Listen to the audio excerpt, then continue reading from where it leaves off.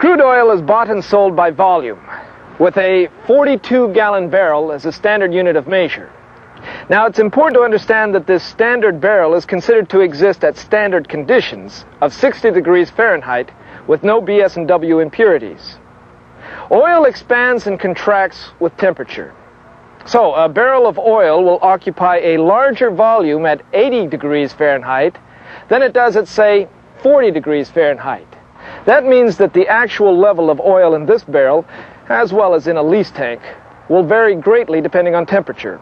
And if you add in BS and W impurities, well, it becomes apparent quickly that measuring crude volume is not always an easy task. At today's oil prices, a lot of revenue can be lost if crude is inaccurately measured. If it has been determined that hydrogen sulfide, or H2S, is present in the area, be sure to wear the proper breathing apparatus. In any case, be sure to stand upwind of the thief hatch as it is opened. Take a good look at the oil. Is it boiling? If it is, you'll have to come back at a later time to work the tank. If the oil is calm, you can go ahead and work the tank. It's a good idea to go ahead and suspend the thermometer in the oil now, before you take the oil sample.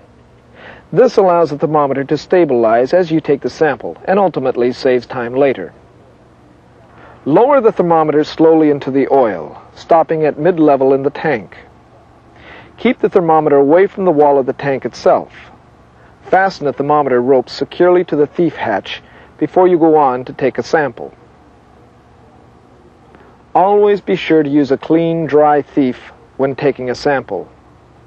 Open the thief's rotating valve, set the trip,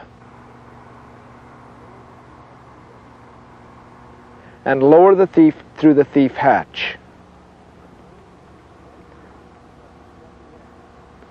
Once the thief is at the correct level, trip it to take a sample.